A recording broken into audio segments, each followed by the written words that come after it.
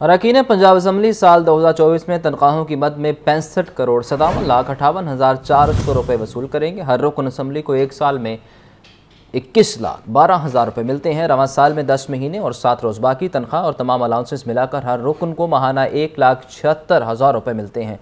तीन सौ इकहत्तर अरकान के ऐवान में एक नशस्त पर इलेक्शन नहीं हुए।